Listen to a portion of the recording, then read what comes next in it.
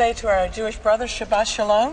Vreau să spun fraților noștri iudei Sheba Shalom. And I believe that this is uh, a tremendous opportunity today Și cred că astăzi avem o oportunitate extraordinară for us to come together and understand what's going on in the conflict in the Middle East. să venim aici și să înțelegem ce se întâmplă în conflictul din Estul Mijlociu. It's very important. Este foarte important. It will affect Romania. Acest lucru va afecta și România, We as believers iar noi, în calitate de credincioși, cannot say it has nothing to do with us. nu putem spune că nu are nimic de a face cu noi. It has everything to do with us. Are de a face totul cu noi. And I hope as a result of these seminars, Și sper ca rezultat al acestor seminarii pe care le vom avea, you as intercessors will be more convinced than ever voi ca mijlocitori veți fi mai mult decât oricând convinși că trebuie să vă rugați. Prayer is a mysterious thing, Rugăciunea este un lucru misterios and yet it can be fathomed. și totuși nu poate fi falsificat. God is sovereign. Dumnezeu este suveran, He is El Shaddai. He is Almighty. El este El Shaddai, este cel atotputernic And yet He has decided to limit Himself și totuși El a decis să se limiteze pe sine to work through His people, the church. și să lucreze prin intermediul oamenilor săi din biserică. Isn't that amazing? Nu este aceasta minunat? Because He can do everything, Deoarece El poate să facă totul and yet He waits și totuși El așteaptă. until there is a corporate desire. Așteaptă până în momentul în care vede o dorință corporativă. He waits for enough desire within His people El așteaptă să provoace cât mai multă dorință, o dorință suficientă în poporul său, to ask Him to move, pentru ca ei, oamenii, să ceară ca Dumnezeu să se miște. to, uh, as He says in Isaiah, Așa după cum el spune în Isaia, to command me. să-i ceară, să-i Do you realize poruncească. that God gives us Vă dați seama că Dumnezeu ne dă nouă the ability to command Him? abilitatea să-i poruncim, să-i cerem lui. Now, you may think that sounds arrogant, that sounds presumptuous, Poate că vi se pare că e prea arogant, but because we are created in His image, dar deoarece noi suntem creați după chipul și asemănarea sa, because we are created to speak His will, pentru că noi suntem creați să vorbim voia sa, He waits Dumnezeu așteaptă. for us to command Him to move, Așteaptă ca noi să cerem să-i poruncim să lucreze, to believe Him to bind the powers of darkness, să-l credem că el va lega puterea întunericului, to bind the, uh, Satan, că el îl leagă pe Satan and to loose the power of God și că el eliberează, eliberează puterea sa in the church, in our nation, and in Israel. în biserică, în națiunea sa și pri- în Israel. And, Da? and many people said, what a timely topic. Și uh, de multe ori oamenii spun, vai, dar uh, tema aceasta este exact la subiect, în actualitate. But whenever we talk about Israel, we're on time. Dar vreau să vă spun că de fiecare dată vorbim despre Israel, de fiecare dată suntem în timpul lui Dumnezeu. Because Israel is God's clock. Pentru că Israel este ceasul lui Dumnezeu. Now, God has a special love for his people Israel. Dumnezeu are o dragoste aparte pentru poporul său, pentru Israel. It is true that they rejected Messiah, Este foarte adevărat că ei l-au respins pe Mesia, but God still has not rejected them. Dar Dumnezeu nu i-a respins pe ei ca popor. It's as if God pressed a pause button Du- Se spune că dacă Dumnezeu ar apăsa un uh, buton pe care se spună pauză and put them on hold. și ar pune pe ei să mai aștepte, pe ei ca popor, He said, You missed Israel your time of visitation. și chiar dacă ei au fost cei care au respins timpul cercetărilor, And Jesus gave a message to Israel. și Isus a fost acela care a transmis un mesaj He Israelului, said, You will not see me again. Isus a fost cel care le-a spus, nu mă veți mai vedea, Forever? oare pentru totdeauna? Nu. He said, You will not see me again until you can say, Baruch haba Beshem Ananai. Blessed is he who comes in the name of the Lord. Domnul Isus a spus, nu mă veți vedea, dar nu pentru totdeauna, ci până în momentul în care veți spune Baruch haba Basher, Aș- Basher Adonai, binecuvântat este acela care vine în numele Domnului. That means there is going to be a time when Israel will welcome Yeshua, Jesus. Aceasta înseamnă că va fi un timp când Dumnezeu, când Israel va fi acela care îl va binecuvânta și îi va spune bine ai venit Domnului Isus ca Mesia. Hallelujah. Slavă Domnului, aleluia! And it will, be, it will be our generation. Și Și aceasta va fi în timpul generației noastre. What is happening right now in the Middle East Ce se întâmplă oare acum în Estul Mijlociu? is preparation for the coming of the Lord. Este un timp de pregătire pentru venirea Domnului. And when he comes, Iar atunci când El va veni, he will judge the nations according to how they have related to Israel. Dumnezeu va judeca popoarele în funcție de felul în care s-au raportat la Israel. God has a foreign policy. It's as if God speaks from Jerusalem, Dumnezeu uh, lucrează conform unei politici aparte, externe. the center of the earth, Dumnezeu vorbește uh, despre Ierusalim ca, centru, popo- ca centrul uh, lumii and he has a foreign policy toward the other nations. și Dumnezeu are o politică externă față de celelalte națiuni care înconjoară Israelul. And we see that in Genesis chapter 12. Și vedem acest lucru în Geneza, capitolul 12. This is a foundational scripture. Aceasta este o, uh, un verset fundamental. The reason why most people don't understand what's going on Motivul pentru care majoritatea oamenilor nu înțelege ce se întâmplă is that they don't know the scripture. este pentru că ei, oamenii, nu înțeleg și nu uh, cunosc Scriptura.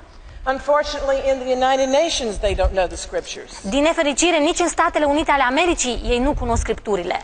Unfortunately, even though President Bush is a Christian, he still doesn't know the Word of God. Din nefericire, chiar dacă președintele Bush este creștin, el nu cunoaște totuși Cuvântul lui Dumnezeu. Genesis 12, În Geneza 12, God made a covenant with the father of the Jewish people. Dumnezeu a făcut un legământ cu Abraham. tatăl poporului evreu, cu Avram. This covenant cannot be broken. Și acest legământ nu poate fi rupt. Isn't it wonderful that when God makes a covenant, he keeps his word? Nu este aceasta minunat că atunci când Dumnezeu face un legământ cu cineva, acest legământ rămâne în picioare și nu poate fi rupt? Unfortunately, we're not like that. Din nefericire, noi nu suntem ca Dumnezeu. We tend to break our covenant. Noi avem tendința de a rupe legămintele. Marriage, for example, is a covenant. Căsnicia, de exemplu, este un legământ. But divorce has got a very high rate in the church Dar în biserică, rata divorțului este foarte ridicată. because we have not learned how to keep covenant. Pentru că noi nu am învățat cum să păstrăm un legământ. But God made a covenant with Abraham Dar Dumnezeu a făcut un legământ cu Avram in which he gave Eretz Israel, the land of Israel, to the descendants of Abraham through Isaac. prin care a dăruit poporului Israel, i-a dăruit pământul acestuia și urmașilor săi prin Isaac. Notice I said through his son Isaac. Deci observați că am spus prin Isaac, prin fiul său Isaac și prin descendenții acestuia. Because Abraham's firstborn son was Ishmael. Pentru că fiul cel din tâi născut al lui Avram a fost Ismael. And God made many promises for Ishmael Iar Dumnezeu a făcut multe promisiuni pentru Ismael to bless him. ca să-l binecuvinteze, But he said through Isaac, dar totuși Dumnezeu a spus prin Isaac. the Holy Land, what we call the Promised Land, the land of Israel, will belong to the descendants of Isaac. Țara sfântă, țara promisiunii, țara pe care noi o numim Israel, aceasta va aparține lui, des- descendenților lui Isaac. And God says in this chapter 12, Și în acest capitol 12 Dumnezeu spune, I will make of you, Abraham, a great nation. Your name will be great. te voi face, Avrame, un popor mare, numărul tău, al poporului tău va fi mare. And in verse 3, Și în versetul 3 he says, I will bless those that bless you. se spune că îi voi binecuvânta pe cei care te vor binecuvânta. And then he says, I will curse those, him, down to the individual who curse you. Și apoi spune și îi voi blestema pe cei ce te vor blestema. And so if Romania wants to be blessed, Așa că dacă România dorește să fie binecuvântată, God says he will bless Romania. Dumnezeu spune că va binecuvânta România. If America wants to be blessed, God says he will bless America if America handles the descendants, the Jews, correctly. Dumnezeu spune că va binecuvânta și America atâta timp cât America îi va trata în mod corect pe descendenții lui Isaac, al lui Avram. But when God says, I will curse even the individual, Dumnezeu spune, eu îi voi blestema chiar și pe oameni în mod individual. Who comes against the descendants of Isaac, who are the Jews, care vor veni împotriva evreilor, împotriva descendenților lui Isaac. even that nation down to the individual will be cursed. Deci nu doar națiunea în mod corporativ, ci și indivizii în mod particular vor fi blestemați. You say, Sister Christine, how can I reverence these people who are killing Palestinians? Poate îmi spui, soră Cristin, dar cum pot eu să-i apreciez și să am respect față de acești oameni care îi omor, îi omoară pe palestinieni? Because the news teaches me that the Israelis are becoming like Nazis. Pentru că la știri văd că israeliții se comportă ca naziștii. This is what we're hearing on the news. Asta este de fapt ceea ce noi auzim la știri, nu? I've just been preaching in Oslo, Norway. În Oslo, în Norvegia, am predicat recent In the Oslo Daily Newspaper, și în ziarul cotidian uh, din Oslo, Ehud Olmert, the Prime Minister of Israel, was shown in a political cartoon to be a Nazi. primul uh, ministru al Israelului a fost reprezentat într-o, într-un desen, într-o imagine de caricatură ca și când ar fi un nazist. How many of you have seen the film about uh, the Holocaust called Schindler's List? Câți dintre voi ați văzut filmul uh, și lista lui Schindler despre Holocaust? In that movie, there is uh, a Polish Nazi major În filmul acela este un uh, um, comandant polonez nazist And in the death camp, he, uh, for the fun of it, practices his shooting by killing Jews. și pentru a se distra, deci din pură distracție, el uh, practica uciderea evreilor. That was the entertainment of, of that Nazi leader. That's Era how he un fel de entertained himself. distracție pentru sine, modul acesta de a-i trata cu dispreț și de a-i ucide pe, pe evrei. He was hanged as a war criminal, El a fost ucis, a fost uh, spânzurat ca și un criminal de război, but now a so-called Christian nation, Norway, dar acum, în zilele noastre, Norvegia, așa numita țară creștină, makes a moral equivalence between the prime minister of Israel and this hated Nazi leader. face o comparație nefondată între acest uh, lider nazist și prim-ministrul evreu. That's Israelit. how twisted and muddled our thinking has become. Vedeți cât de distorsionată și de, di- de greșită este gândirea modernă. Israel right now is fighting for its survival. În momentul actual, Israel se luptă pentru supraviețuire. It has no buffer zones, no uh, zones of protection. Nu există zone de protecție. The terrorists are right on their border, in their faces. Teroriștii sunt chiar la granițele țării, chiar în fața lor. I don't know how many of you have been to Israel, Nu știu câți dintre voi ați fost în Israel, but I want you to come to our conferences uh, with me. dar aș vrea să veniți cu mine la conferințele pe care le avem. We have a tremendous, wonderful time there. Avem un timp extraordinar Because the glory, the manifest presence of God is there. pentru că gloria, puterea lui Dumnezeu manifestă este acolo. It's the safest place in the world to be. Și este locul cel mai sigur din lume în care să te poți afla.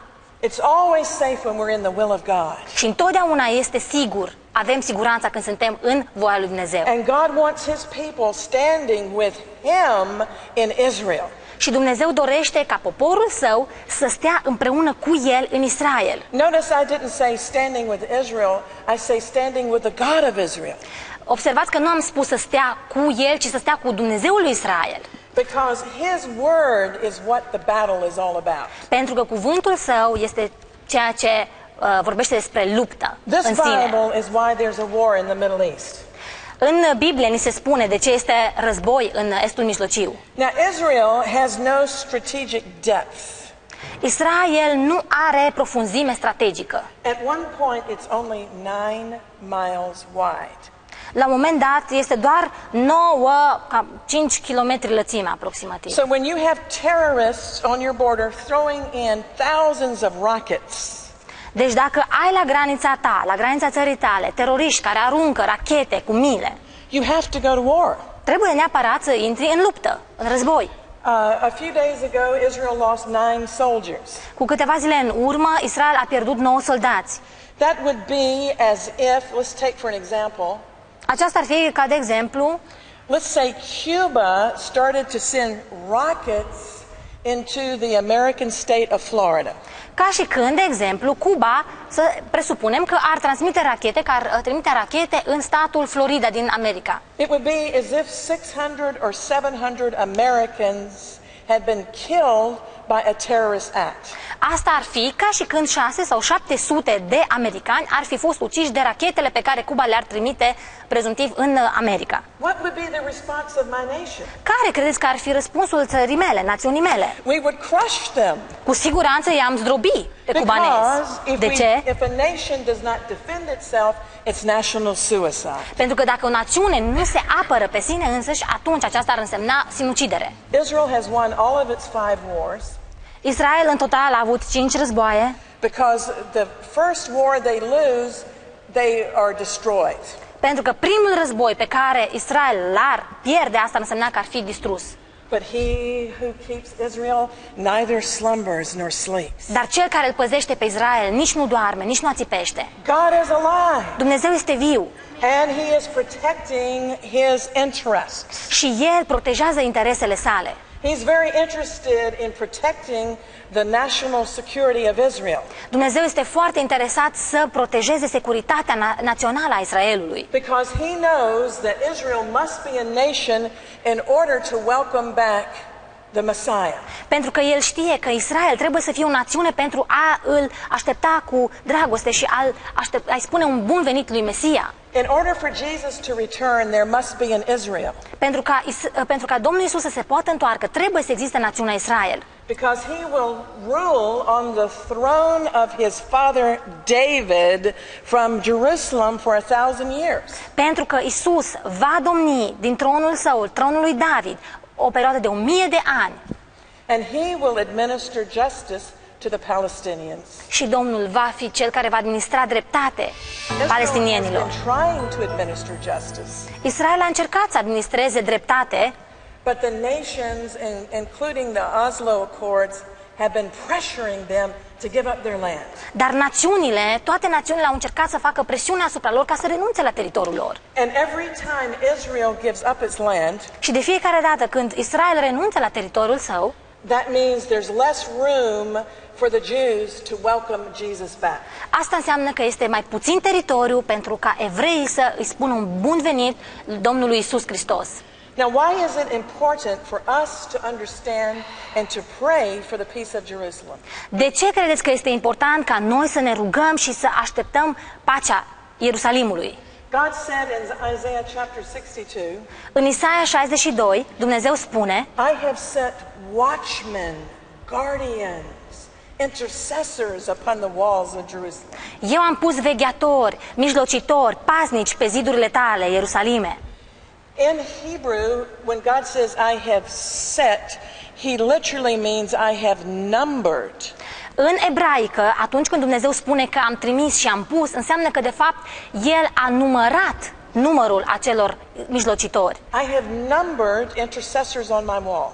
Am pus un număr exact al mijlocitorilor mei pe ziduri. That means there is a strategic number of intercessors that only God knows. Aceasta înseamnă că este un număr strategic al mijlocitorilor pe care numai Dumnezeu îl cunoaște. And I believe He's calling you here in Romania to be numbered amongst those. Și cred că Dumnezeu vă cheamă pe voi ca români să fiți printre numărul acela al mijlocitorilor. He says that these intercessors, these guardians, Dumnezeu spune că acești mijlocitori, acești paznici, will give him no peace, will give him no rest îi voi da lui, nu îi voi da lui Dumnezeu pace until he establishes, until he makes Jerusalem a praise Nu- in the earth. Nu-i voi da pace lui Dumnezeu până când Dumnezeu nu va face din Ierusalim o laudă pe întregul pământ. Right now, Jerusalem is like a, a, a stumbling stone to the world. În momentul actual, Israel este ca o piatră de poticnire pentru lumea întreagă. It's like uh, what the prophet Zechariah calls a cup of reeling to the world. Este ca ceea ce profetul Zaharia numește, este ca un pahar al amețelii pentru lumea întreagă. But God is determined to make Jerusalem a praise in the earth. Dar Dumnezeu este hotărât să facă Ierusalimul o laudă pentru întregul pământ. Now, notice that he said, I can do it, but I will not do it until you remind me to do it. Observați că Dumnezeu poate și stă în abilitatea sa să facă acest lucru, dar El ne spune că nu va face până ce noi nu-i vom aminti ce trebuie să facă El.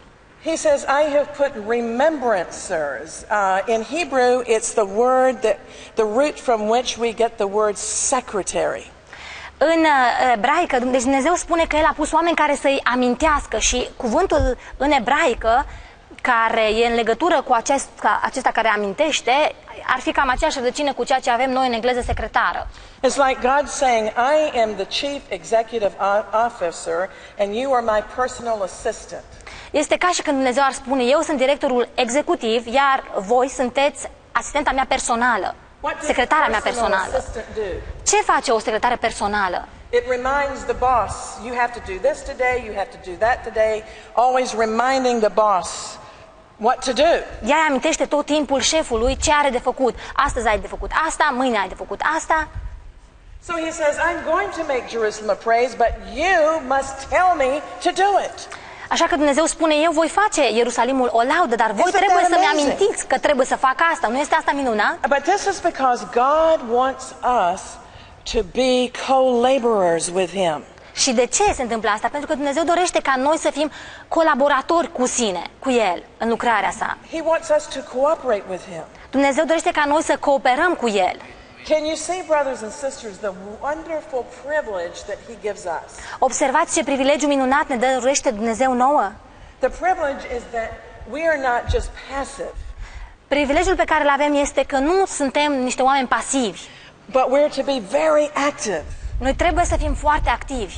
We are to be praying night and day Noi trebuie să ne rugăm zi și noapte. that our nation, the church, will esteem God, will esteem Israel. Pentru ca națiunea noastră, biserica noastră să, apre- să aprecieze pe Dumnezeu și să aprecieze Israelul. will protect God's interests in the Middle East. Să protejeze du- uh, interesele divine, interesele lui Dumnezeu în Estul Mijlociu. and will hasten the coming of the Lord. Și să grăbească astfel venirea Domnului. Why must we esteem the Jewish people? De ce credeți că trebuie să apreciem poporul lui Dumnezeu, evreu? I don't agree with every policy of the Israeli nation, Eu nu sunt de acord cu toate politicile pe care uh, poporul evreu are, le au. I think they've made many mistakes. Cred că au făcut multe greșeli. But this is because they do not yet have the infilling of the Holy Spirit. Dar de ce au făcut aceasta? Pentru că ei încă nu au umplerea cu Duhul Sfânt. But nevertheless, Totuși, God has said Dumnezeu a fost cel care a spus that we owe a debt to the Jewish people. că noi datorăm ceva poporului Israel. This is because Și asta datorită faptului că, without them, fără ei, you and I would be pagans. noi, voi și cu mine, am fi păgâni. We would not know the God of Israel. Noi nu l-am fi cunoscut pe Dumnezeul lui Israel. You see, they kept the covenants. Vedeți, ei au păstrat legământul. Unto the Jewish people were given all of the covenants of God. Poporul Israel i-a fost dăruit întregul legământ cu Dumnezeu, da? Even the new covenant, even the New Testament was given to Israel. Chiar și Noul Testament l-a fost dăruit lor. Unto them were given the scriptures and the covenants and the Messiah Savior. Israelului a fost dăruită Scriptura, legământul, chiar și Mesia, salva, Mesia salva, Salvatorul. So, out of respect, Așa că datorită respectului, I call myself a Judeo Christian. eu mă numesc pe mine o iudeo-creștină. I am not a Gentile. Eu nu sunt o, doar fac parte din neamuri. What is a Gentile? Ce înseamnă neamurile? Ce sunt Someone who's neamurile?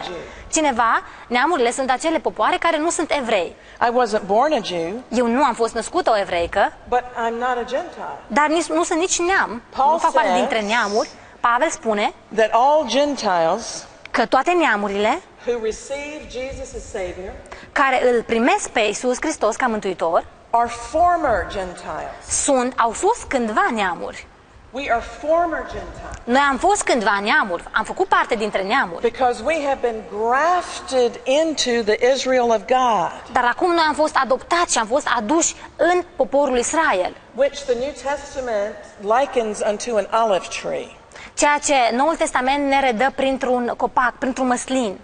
So if you are from a Gentile nation, Dacă voi făceați parte și suntem parte, da, dintr-o națiune, uh, facem parte dintre națiunile păgâne and you're not Jewish, și nu suntem iudei, but you have accepted the Jewish Savior, Messiah, dar l-am acceptat pe Domnul Isus Hristos ca uh, Mesia, da? you are what the Bible calls an, a wild olive branch Noi suntem ceea ce Biblia numește o uh, crenguță, crenguță sălbatică, o creangă sălbatică din acel măslin.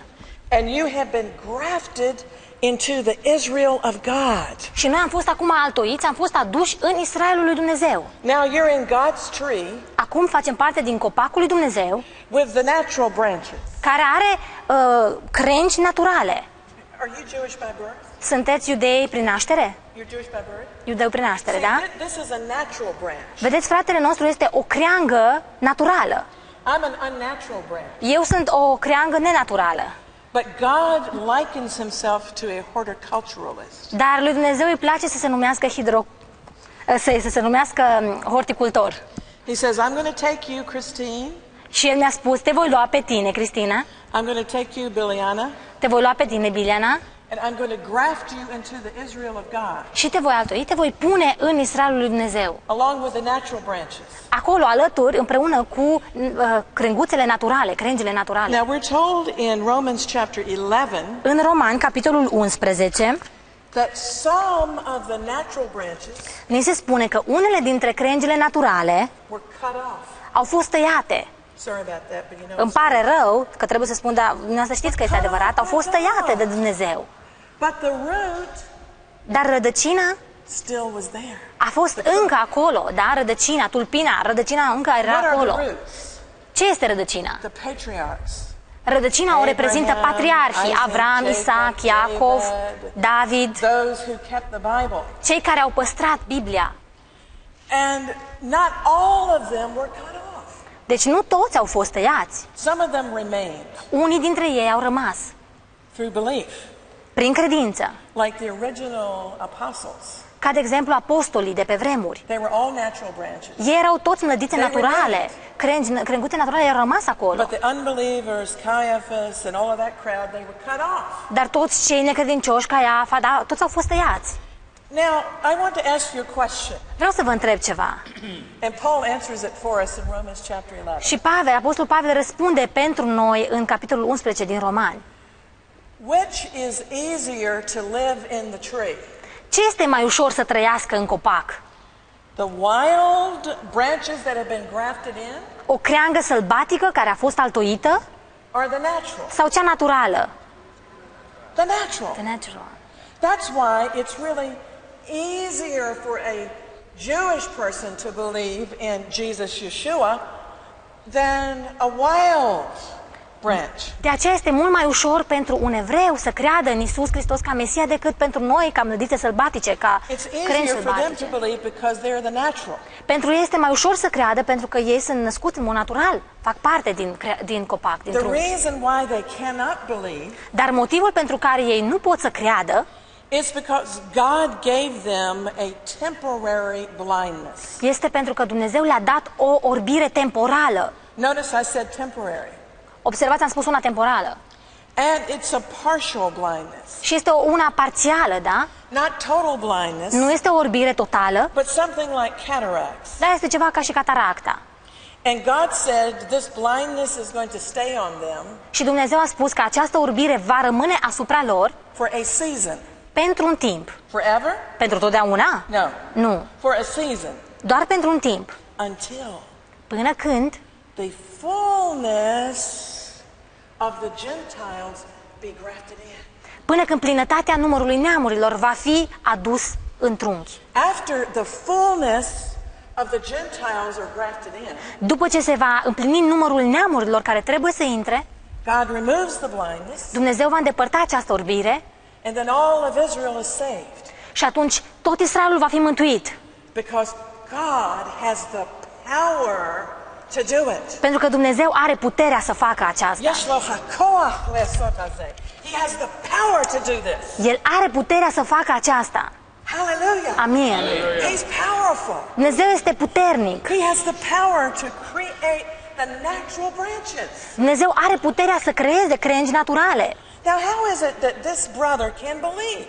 Totuși, cum se face că fratele nostru nu crede? Because God blinded them. De ce? Pentru că Dumnezeu i-a orbit pe frații noștri. Satan has blinded the Gentiles. Satan a fost, a fost cel care a orbit pe neamuri 2 Corinthians 4 4 says, The God of this world has blinded them that they're not capable of seeing the glorious gospel. În 2 Corinteni 4 cu 4 mi se spune că Dumnezeul veacului acestuia, Satan, i-a orbit pe oameni, pe neamuri, ca să nu vadă și să nu poată primi Evanghelia.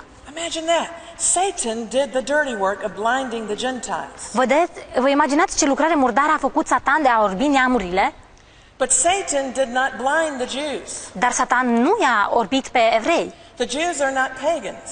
De ce? Pentru că evreii nu sunt păgâni. They believe in the God of Israel. Ei cred în Dumnezeul lui Israel. But God Himself, through mercy, blinded them temporarily. Deci Dumnezeu însuși, prin mila sa, i-a orbit în- doar temporar. This was the mercy of God. Prin mila sa. Imagine that. Imaginați-vă So asta. that the gospel would go to the Gentiles Așa pentru ca Evanghelia să poată ajungă la neamuri. for a season. Să poată ajunge la neamuri pentru un timp, da? This season the Bible calls the times of the Gentiles. Și perioada aceasta Biblia o numește timpul neamurilor. Acesta este timpul neamurilor. The first apostles thought it would go by just like that. Primii apostoli au crezut că toate lucrurile acestea se vor întâmpla din senin. But the times of the Gentiles have lasted about 2,000 years. Dar timpul neamurilor, iată că a durat aproximativ 2000 de ani. How is it that this brother is able to see now? Cum se face ca totuși fratele nostru este capabil să vadă acum? Because when the times of the Gentiles are finished, De ce? Pentru că atunci când timpul neamurilor se termină, se încheie, God removes the blindness. Dumnezeu îndepărtează acea orbire. That's why it's very interesting in June of 1967, De aceea este foarte interesant că în iunie 1967, during the lightning Six-Day War, uh, în timpul războiului acela de șase zile, during which the Jewish people reclaimed Jerusalem for the first time in nearly 2,000 years, când evreii pentru prima oară au reclamat, au rechemat Israelul, Ierusalimul, technically, technically, the times of the Gentiles were finished. în mod tehnic, timpul neamurilor s-a încheiat. And I'm going to prove it to you in a minute. Și vă voi dovedi aceasta într-un minut. But first, I want to ask you a question. Dar mai întâi vreau să vă întreb ceva. How many of you Câți dintre voi got saved, came to a saving knowledge of Jesus ați ajuns la cunoștința mântuitoare despre Isus before the Six Day War, înainte de acel război de șase zile? Câți dintre voi? before June of 1967? Înainte de iunie 1967. That's myself, this Eu, sora mea and this one back here, și sora în spate. and this And one. the other one. That's four. Deci numai four patru. people. Patru oameni. Four out of this group. Patru din grupul acesta. Okay, now how many of you were saved after June of 1967? Deci câți dintre voi ați fost mântuiți după 9 iunie 1967? The majority. Majoritatea. All right, now, if the times of the Gentiles were completed in June of 1967, how is it that all of you got saved? Dacă timpul neamurilor ar fi fost complet înainte de 1967 sau în, în 1967, cum se face că voi, după nou- 1967, deci după acea dată ați fost mântuiți? Turn with me to Luke chapter 21, Vă rog să deschideți la Luca 21, and this is the Olivet Discourse. This is unde se when vorbește despre pilda Jesus gives the măslinului. signs of the end. And he Unde Domnul says Iisus vorbește despre in verse semnele venirii. 24, În versetul 24, after he's given all the other end time signs, după ce Dum- Domnul Iisus vorbește despre celelalte semne ale sfârșitului, he says there will be wars and rumors of wars, Domnul spune că vor fi semne și vești de războaie, earthquakes, tsunamis in different places, cu tremure în diferite locuri, pestilences. tot felul de boli, ciume. Well, we've always had those, haven't we? Noi întotdeauna am avut astfel de The lucruri, nu world's always așa? had earthquakes and wars. Lumea întotdeauna a avut parte de războaie și de cutremure. But then he gives a sign that no generation has had until our generation. Dar apoi Dumnezeu vorbește despre un semn care va avea loc și de care n-a avut parte nicio generație în afară de a noastră. In verse 24, În versetul 24 he says, And Jerusalem shall be trodden down under the feet of the Gentiles until the times of the Gentiles be fulfilled. Deci în Luca 21 cu versetul 24 se spune astfel Vor cădea sub ascutișul săbiei, vor fi luați rob printre toate neamurile și Ierusalimul va fi călcat în picioare de neamuri până se vor împlini vremurile neamurilor. What happened in June of 1967? Ce s-a întâmplat în iunie 1967? This verse, Luke 21 24, was fulfilled. Luca, versetul acesta din 21, versetul 24 s-a împlinit. Since the year 70 AD in history, Încă din anul 70 după Hristos, în istorie, when the Romans destroyed Jerusalem and the Holy Temple, când romanii au distrus templul și Ierusalimul, Jerusalem has been in the hands of the Gentile nations. Din acel timp Ierusalimul s-a aflat în mâinile păgânilor. But in the lightning six day war, it was a miracle. Dar în acel război de șase zile din 1967 s-a întâmplat o minune. For the first time in nearly 2,000 years, Jerusalem belonged again to the Jews. Pentru prima oară, în atâta, atâția ani, o mie de ani, pentru prima oară Ierusalimul a aparținut din nou evreilor. One of the generals who took Jerusalem was a personal friend of mine. Unul dintre generali care a luat, a cucerit Ierusalimul a fost un prieten personal cu, al meu. His name was General Uzi Narkis. Numele lui este general Uzi Narchis. He was the commander who had the privilege to recapture Jerusalem. Și el a fost comandantul care a avut privilegiul să recucerească Ierusalimul. He was like a character out of the Bible. Și era ca și unul dintre personalitățile din Biblie. He was like a general right out of a battle in the Bible. Era ca unul dintre generalii din luptele pe care Israelul le-a avut în Vechiul Testament în Biblie. He had waited for years for this glorious opportunity. El a așteptat pentru ani de zile această oportunitate glorioasă. In 1948, În 1948, when Israel was recreated according to Bible prophecy, când Israel a fost recreat ca națiune potrivit profețiilor biblice, General Narkis tried to take the old city, generalul Narchis a încercat să cucerească, să a- acapareze acest vechi oraș, Ierusalimul, through a gate called Zion Gate, prin anumite porți pe care le-a pus, uh, porțile numite Sion, but he was repelled by the Arabs. dar arabii l-au îndepărtat. And he had to wait for several decades for this opportunity to retake Jerusalem. Și apoi a mai trebuit să aștepte încă zeci de ani pentru a recuceri Ierusalimul. He told me he was waiting on a mountain in Jerusalem called Mount Scopus. Mi-a spus că a așteptat pe un munte în Ierusalim, numit Muntele Scopos, And he couldn't wait to go. și n-a mai putut de nerăbdare, aștepta să plece. He was waiting for his orders from General Moshe Dayan. A așteptat ordinele de la uh, un alt general, Moshe Dayan. Moshe the one Dayan. with the eye patch. Moshe Dayan, cel care are un ochi acoperit. Moshe Dayan was the defense minister. Moshe Dayan a fost unul, de, uh, este al ministrul apărării. Every day Uzi said, Moshe, Moshe, can we take the old city? Și Uzi tot timpul spunea în fiecare zi, Moșe, Moșe, suntem gata, putem să mergem și să luăm, să cucerim Ierusalimul. He said, not yet, wait, wait. Dar celălalt îi spunea, nu încă, așteaptă. Why did this war only take six days? De ce oare războiul acesta a durat doar șase zile? Because God works for six days and he rests on the seventh. De ce? Hallelujah. Pentru că Dumnezeu a lucrat șase zile și s-a odihnit în cea de-a șaptea. It was a miracle. A fost o minune. Finally, he said, You can go. În cele din urmă i-a spus, poți să pleci. He had to run from one mountain up Mount Zion through the Lion's Gate. Iar prietenul meu a trebuit să alege de la un munte până la celălalt munte prin poarta leilor Now, if you and I would walk that walk, și dacă noi am merge atât de mult, if you came to the Holy Land with me and we did that walk, it would take us about a half hour. Dacă voi ați fi mers cu mine și ați uh, merge prin, mi- b- cu mine în Țara Sfântă, v-ar lua, ne-ar lua câteva ore bune. But he got there in 10 minutes or less because he said a supernatural force was transporting him. Dar prietenul meu a ajuns în câteva minute. De ce? Pentru că uh, mi-a spus o forță supranaturală parcă îl împingea și îl transporta. Shlomo Goren, the chief rabbi of the Israel Defense Forces, Rabinul șef al uh, apărării, al uh, Ministerului Apărării, was running with them with the shofar of God. alerga împreună cu el cu șofarul lui Dumnezeu. The Trâmbița lui shofar is Dumnezeu. an instrument of spiritual warfare. Șofarii este o trâmbiță este un It's instrument, the trumpet of God. este o trompetă a lui Dumnezeu. God says in the Bible, when I hear it blown in faith, I will respond to it. Dumnezeu spune că atunci când va auzi trâmbița aceasta, șofarul acesta răsunând, voi răspunde din ceruri. Că atunci când acesta, Notice I- acest instrument va fi notice I suflat said, cu when it's blown in credință. faith. Deci e important să sufli cu credință și să Without faith, it's folosești. impossible to please God. Fără credință este imposibil să-i fim plăcuți lui Dumnezeu. Whatever we do, Orice am face, whether we lay hands on somebody fie că am pune mâinile peste cineva,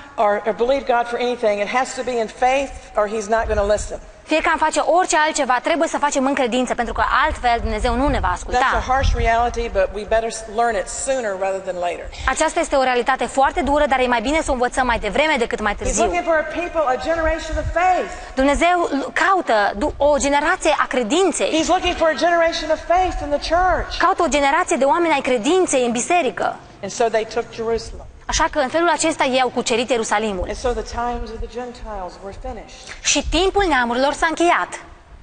But how is it that you still had time to get saved? Dar cum se face oare că voi încă ați avut timp ca să ajungeți să-L cunoașteți pe Dumnezeu și să fiți mântuiți? Brothers and sisters, we are living in a special period of extended grace.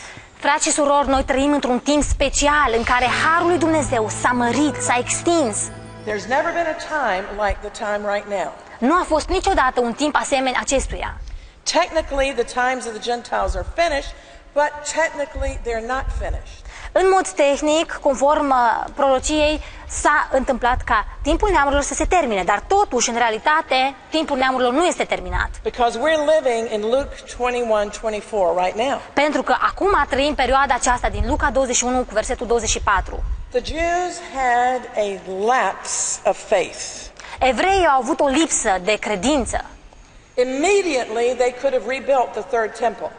Și, în moment, de fapt, evreii, rectific, au, dintr-o dată au primit credința, au recapă, recăpătat credința și au început să reconstruiască templul. Because now that real estate was in their hands for the first time since 70 AD. Pentru că acum, pentru prima oară, după anul 70 după Hristos, templul, Ierusalimul a fost în mâinile lor. It was theirs. Ierusalimul a fost al lor și puteau să facă orice doresc.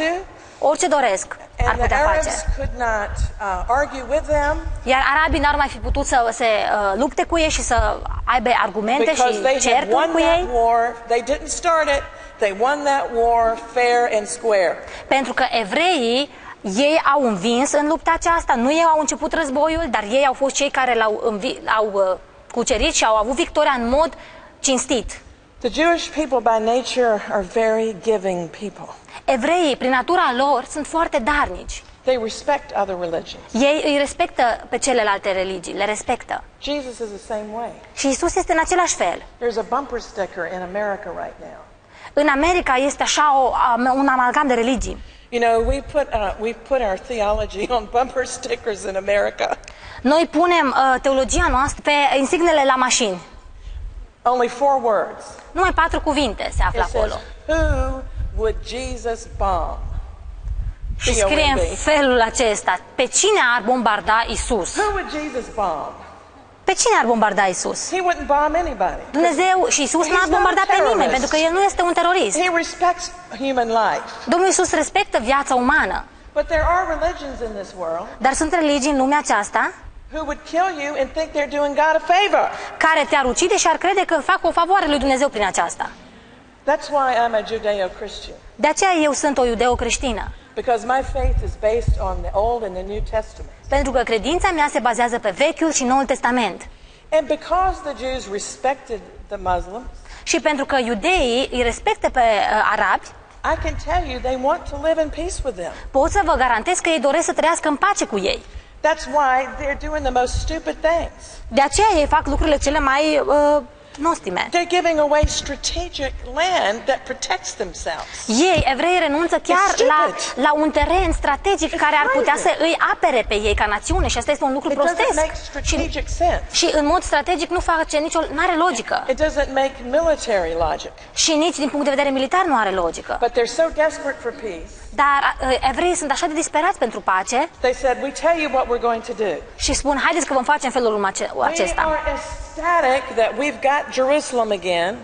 Noi suntem bucuroși că avem Ierusalimul din nou And to show how generous we are, și ca să vă arătăm cât suntem noi de darnici și de generoși, we're going to give you Muslims the Temple Mount. We're going to let you have the Temple Mount and the mosque there. noi vă vom da voie să aveți moschee pe muntele vostru.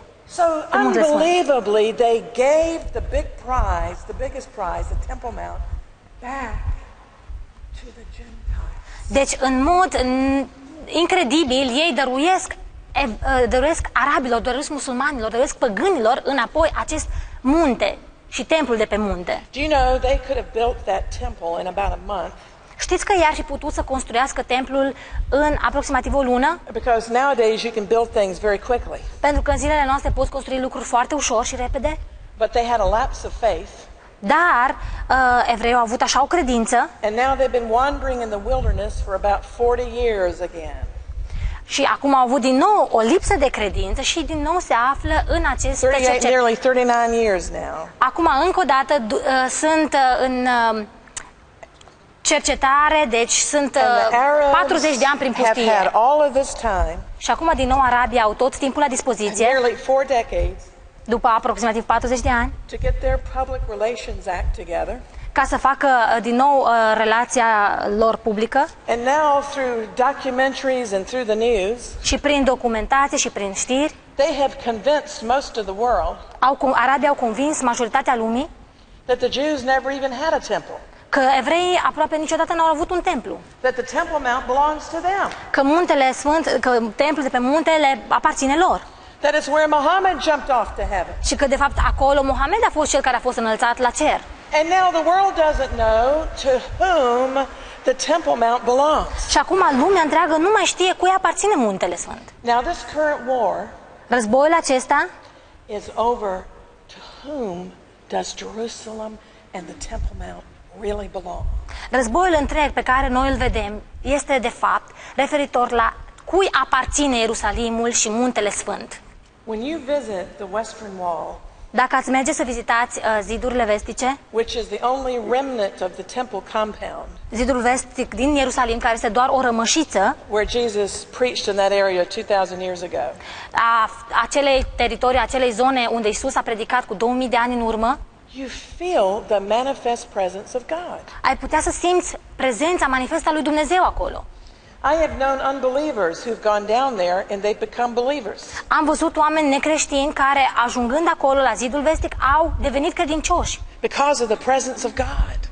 Pentru că puterea lui Dumnezeu a fost așa de reală. God said in His Word, My eye will always be there. Și Dumnezeu spune în cuvântul său că ochiul meu va fi întotdeauna peste acel loc. Write this down, please. He said in Psalm 2, În Psalmul 2, rețineți acest lucru și notați, I have installed my King on my holy hill of Zion. se spune că eu am stabilit pe, și am pus pe regele meu pe muntele sfânt al Sionului. Who is that King? Cine este acest împărat? King Messiah. Cine este acest Jesus. rege? Isus, Mesia, When did He regele. install Him there? De ce l-a pus acolo și când l-a pus acolo? When Jesus rode into Jerusalem on a donkey, Atunci când, în ziua în care Domnul Isus a venit călărind pe un măgăruș According în to the Ierusalim, scriptures. potrivit scripturilor, they hailed Him as King. Hosanna, Hosanna. oamenii l-au ovaționat și au spus Osana. And God installed Him as His King on Mount Zion. Și în acel moment Domn, uh, Dumnezeu l-a stabilit și l-a făcut să fie rege peste muntele Sion. And now, just because Jesus is not sitting there now, Și doar pentru faptul că Isus nu se află fizic acolo, acum, în clipele acestea, it doesn't mean He's not King of Zion. asta nu înseamnă că El nu este regele și împăratul Sionului. First, He had to do the work of redemption. Mai întâi de toate, El trebuie să facă această lucrare de răscumpărare. After he was hailed as king and installed as king on Mount Zion, După ce Domnul Isus a fost ovaționat și a fost uh, strigat și lăudat ca și rege și a fost stabilit ca uh, rege și peste rege împărat al Sionului, he had to make a temporary but important diversion to the cross el a trebuit să facă un lucru foarte important, să meargă la cruce. because he had to die as the king priest sacrifice for the sins of Israel and all the world. Pentru că el a trebuit să moară pentru păcatele Israelului și pentru păcatele lumii întregi, în calitate de preot, de sacrificiu. He had to do that work of redemption El a trebuit să facă această lucrare de răscumpărare, as the Lamb of God who took upon himself the sins of the world. în calitate de miel al Domnului, care a luat asupra sa întregul păcat al omenirii. He fulfilled the feast of the Lord called Passover. În acest fel, el a împlinit Paștele, sărbătoarea Domnului. When he died as the Lamb of God, Atunci când a murit în calitate de mielul Domnului, mielul lui Dumnezeu, and the blood that flowed from his hands and his feet iar sângele său a curs din picioarele și din mâinile sale, matched the pattern of the blood of the Passover lamb on the doors and the posts of the Israelites.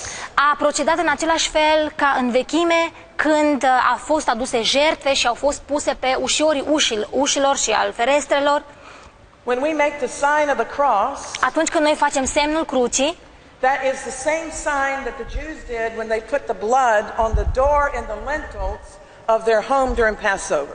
este același semn pe care evreii îl făceau în vechime de Paște și stropeau ușile lor. Because it's only the blood of Messiah that protects us from Satan and saves us. Doar prin sângele lui Iisus Hristos, sângele lui Mesia, suntem Somebody salvați say și amen. suntem, suntem eliberați de Satan și protejați de We believe that. Satan. Credem aceasta. So this was a temporary but essential diversion. Așa că lucrarea aceasta pe care Domnul Iisus a făcut a fost una temporară. And then, you know, Dar foarte sometimes when importantă. you go on a road, you have a diversion. You have to, you know, there's a sign that says diversion. Știți, uh, când mergi, călătorești pe șosea, la un moment dat sunt tot felul de ieșiri pe care trebuie să le faci. Nu continui drumul cel drept înainte, ci la un moment dat trebuie să o iei stânga sau dreapta. After Calvary, După calvar, he had to make another diversion. Domnul Iisus a trebuit să facă o, o altă ieșire, He had to descend into hell. a trebuit să coboare în iad. This is God's road, roadmap. Și aceasta este mapa, aceasta este harta lui Dumnezeu. And there he conquered Satan. Hallelujah. Și acolo, în iad, Domnul Iisus l-a cucerit și l-a He învins did pe it on the Satan. cross, but in, but in hell he took the keys from the devil. Pe cruce el a învins pe Satan, dar coborându-se în iad, Domnul Iisus a luat cheile And he took împărăției. all of the captives uh, out of Hades, all of the saints, and he led them up to heaven. Și a eliberat pe toți captivii aflați în morminte și i-a condus spre ceruri. Then the next diversion he had to take was he had to be in the grave three days and three nights to fulfill Scripture. Apoi, o altă uh, ieșire din planul inițial pe care trebuia Domnul Iisus să o împlinească era faptul că a stat pentru trei zile și trei nopți în iad, And then when he was resurrected, hallelujah, în mormânt, da, și a trebuit să învieze într-un mod glorios. Mary, the faithful disciple, wanted to touch him. She was so excited. Maria, acea discipolă foarte credincioasă, a vrut să-l atingă. He said, Don't touch me. Dar Domnul Iisus i-a spus, nu mă atinge. I have not yet ascended to my Father. Încă nu m-am ridicat și nu m-am înălțat la cerul, la Tatăl. Why could she not touch him at that point? De ce credeți că n-a putut să-l atingă în momentul acela? At that point, the King, Redeemer, Pentru că atunci Mântuitorul, was our Regele? great high priest. în momentul acela el era preotul nostru suprem, preotul nostru He înalt, was marele preot. about to ascend to the Father. El trebuia să se înalțe la ceruri, He was going to take his blood, trebuia să ia sângele său, which had been mysteriously collected at the cross. sângele său care în mod misterios a fost adunat la cruce. He poured out his holy blood for your sin and mine. El a turnat și a lăsat ca sângele său să fie curs, să curgă pentru păcatele mele și ale tale. He was the snake held up on the pole in the wilderness, that snake that Moses held up. El a fost ca și acea reprezentare a șarpelui în pustie pe care Moise a ridicat-o așa în sus. And if we look at him, even today, we shall live. Și chiar și acum, dacă noi privim către El, către cruce, vom trăi. Look at him and you shall live. Priviți către El, către Isus și veți trăi. But at that moment, Dar în momentul acela, Mary could not touch him. Maria nu-L putea atinge încă. Now, later, after he had ascended to the Father, Mai târziu, după ce El s-a ridicat la ceruri, la Tatăl, the disciples could touch him. apostolii l-au putut atinge. They could examine the marks in his hand. Au putut examina urmele cuielor în mâinile sale, They, they could look at the, the hole in his side. They au could putut put să their hand in it. pună mâna în, în urmele în corpului, în urma și găurile de la, la, de la săgeată. De, In the uh, Old Covenant, the high priest had to remain ceremonially clean. în Vechiul Testament, marele preot trebuia să rămână curat. He could not be defiled. El nu putea să fie murdărit. Jesus was taking his blood up to the mercy seat in heaven. Domnul Isus a luat din sângele său și a dus, l-a dus în cer. He poured out his blood on the mercy seat in heaven. Și apoi l-a turnat pe scaunul ispășirii în cer. Because the temple on earth was only a shadow of the real thing in heaven. Pentru că templul de pe pământ a fost doar o umbră a lucrurilor viitoare din cer. Now, I want to ask you something. Vreau să vă întreb ceva. How many of you Câți dintre voi uh, believe can there be anything dead in heaven? credeți că ar putea exista ceva mort în cer? No, Nimeni. Hă? no. Nimeni nu crede. His blood is in heaven. Sângele său este în cer. His blood was retained in heaven. Sângele Domnului Isus a fost păstrat, reținut în cer. Yeshai Makshav Beshemat, there is life even now in the blood of Jesus in heaven. Și chiar și acum este viață în sângele Domnului Isus Hristos în cer.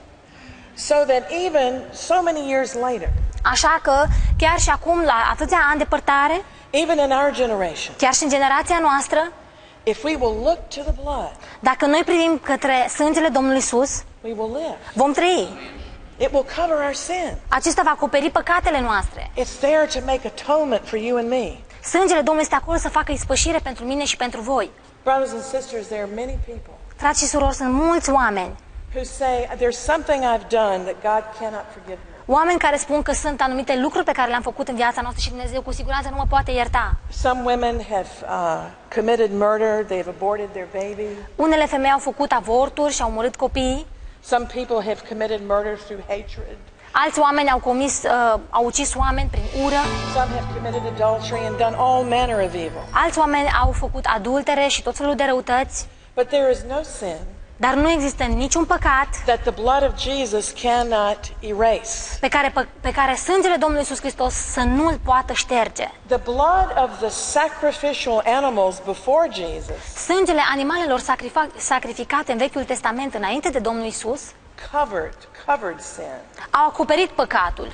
But the blood of Jesus, Dar sângele Domnului Isus, because it is 100% pure, no sin in it, pentru că nu are păcat deloc în el însuși, este 100% pur, because he was the seed of the woman, pentru că a fost sămânța femeii, virgin. femei uh, fecioarei, his blood was his father's blood, sângele său a fost sângele tatălui his său, father in heaven. tatălui său din ceruri, His blood is the only sacrifice. sângele său este singurul sacrificiu, singura jertfă. There are many religions in this world, Există multe religii în lumea asta, but there's only one Savior. dar există un singur mântuitor. Never forget that. Să nu uitați niciodată asta. Only the blood of Jesus. Numai sângele Domnului Isus. It doesn't cover our sins, it removes our sins. Sângele Domnului Isus nu doar acoperă păcatul nostru, ci îl îndepărtează total. There may be some sin that you cannot forgive yourself for. Poate că sunt anumite păcate pe care voi înși vă nu vi le puteți uh, ierta. God can forgive you, but you can't forgive yourself. Dumnezeu vă poate ierta, dar dumneavoastră înși vă nu vi-l puteți ierta. But if you will meditate on the power of the blood of Jesus, Dar dacă voi meditați asupra puterii iertătoare a Domnului Isus, let that blood soak on that sin. lăsați că puterea aceasta a sângelui să vină și să curgă, Let să it picure soak right și să now. absoarbă tot mai mult păcatul acela. Say with me, thank Spuneți you. cu mine Thank acum, you, Father. îți mulțumesc, Tată, îți mulțumesc that you sent Jesus că Tu l-ai trimis pe Domnul Isus to die să on moară that cross for me. pe acea cruce pentru mine.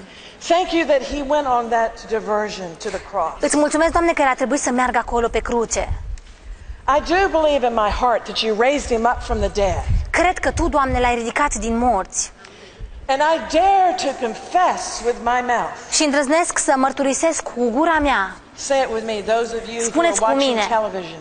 Toți aceia care I priviți la dare to confess televiziune, with my mouth that Jesus is my îndrăznesc să Lord. mărturisesc cu gura mea că Isus Hristos este, Now Isus thank you, este God. Mântuitorul meu. Thank you, Father in heaven, Îți mulțumesc, Tată din ceruri, that you will send your King back to your holy hill. că Tu îl vei trimite din nou pe regele Tău, pe muntele Tău cel sfânt. He will be installed on your holy mountain of Zion. El își va pune scaunul de domnie pe muntele Tău sfânt al Sionului. He will rule from Jerusalem for a thousand years. Și El va domni din Ierusalim pentru o mie de ani. He will bring justice. El va aduce dreptate. Come, Lord Jesus. Vino, Doamne Iisuse! Maranatha, Maranata! Come and save the remaining Gentiles. Vino, Doamne Iisuse, și salvează, mântuiește Come and save Israel, numărul Lord Jesus. neamurilor. Redeem Israel out of all of her trouble. Mântuiește, Doamne, pe Israel de toate problemele lui. I pray for every one of you here today. Mă rog pentru fiecare dintre voi astăzi That God will set you upon the walls of Jerusalem ca as Dumnezeu să intercessors. vă pună ca mijlocitori pe zidurile Ierusalimului. you. Vă binecuvintez. Și bless Vă you binecuvintez in Jesus' în name. numele Domnului Isus.